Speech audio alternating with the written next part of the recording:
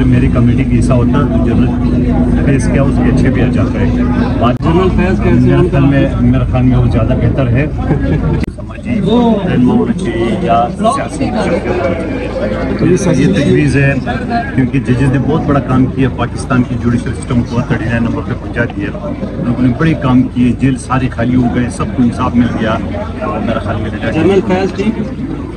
General Faiz में मेरे ख्याल में वो ज़्यादा बेहतर है कि उसको लेना चाहिए ताकि जो है ना वो बाकी जो बचा बचा जो ना हड्डियों पर से गया सर शायद जनरल फैज़ हो गया देखिए जनरल फैज़ हो गया या दूसरे लोग हो गए आ, जिस तरह आर्मी के अंदर उसने अपना दूरी बनाया जिस तरह आर्मी के अंदर उन्होंने आसानी से कोर कमांडर था उस इस्लामाबाद में जिसको जनाउस कहते हैं लाहौर का जिसको जनाउस कहते हैं। तो मैं ये समझ रहा हूँ कि मैं तो आपके तोसे से आर्मी के जो इस्टेब्लिशमेंट है उनसे मेरी गुजारिश है कि टीवी टॉक शो में शो में या पाकिस्तान से बाहर में या पाकिस्तान के अंदर जो पॉलिटिकल पार्टी में रिटायर्ड लोग मौजूद है आर्मी के इन सब का कब बातचीत बंद करना चाहिए। उन सबको जो ना टी ए पेंशन उसको बंद करना कथा चाहिए। माफ़ इसका मतलब है आप बाकी पार्लियामेंट 342 मेम्बरान 102 सेनेट के मेम्बरान बेबस हैं। जनरल फैज रिटायर जनरल है और आप उस पर इल्ज़ाम लगा रहे हैं कि उन्होंने। आप उनको बुला तक नहीं सकते इतने बेबस है सर आप।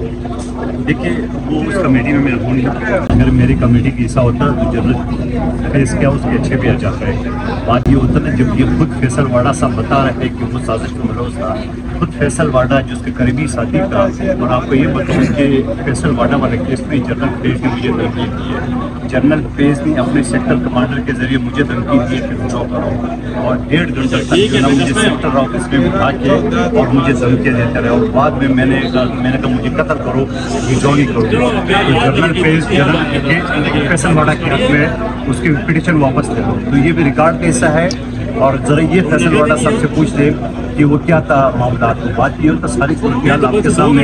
मैं अपने तौर पर उस वक्त जब ये आई के सरबरा था तब भी बोल रहा था और ट्वेंटी फोर न्यूज़ का नसीम जरा का शो देख लें और जी टी वी का तो खातून क्या नाम है उसके शो में देख लें। मैंने वहाँ ये कहा, ये आज मैं नहीं कह रहा हूँ जब जनरल फेस आई के सरबरा थे उस वक्त बोल रहा था। तो मेरे भाई, ये बात आप किसी और से बात कर लें। मुझसे ये बात नहीं कर सकते कि हम बोल नहीं सकते। अल्लाह ने अल्लाह ने अल्लाह ने मुझे जबान भी दी और अल्लाह ने मुझे ताकत भी दी है कि मैं किससे डरता नहीं हूँ। और जो अब ब्यूरोक्रेसी का देखिए जो करप्ट ब्यूरोक्रेसी है, मेरे कमेटी के ज़रिए मैंने क्या किया। जरा पूछे ब्यूरोक्रेसी से। अच्छे लोग मौजूद है ब्यूरोक्रेसी में। और ज़रा उन लोगों से पूछे जो पाकिस्तान से बाहर ओवरसीज़ है, जो अच्छे लगे, जो पाकिस्तान की खिदमत करे पाकिस्तान के लिए रेमिटेंस भेज रहे अपने घर वालों का ख्याल रख रहे लेकिन वो लोग जो आर्मी के खिलाफ बोल रहे हैं जो अदलिया के खिलाफ बोल रहे हैं जो पाकिस्तान के खिलाफ बोल रहे हैं उनके पासपोर्ट और सारी चीज़ें जब्त करना चाहिए ब्लॉक करना चाहिए ज़िंदगी भर उनको पाकिस्तान में आने की इजाज़त न दी जाए। गुजशत रोज बिलावल भुट्टो साहब ने मायूसी का इजहार किया है कि हम कुछ खातर ख्वाह परफॉर्मेंस नहीं दे सके।